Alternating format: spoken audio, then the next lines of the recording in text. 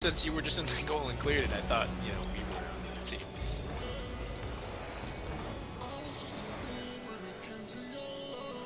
Oh my god, I am fucking amazing. Uh, scoreboard? What, what about You said you're amazing. I said scoreboard.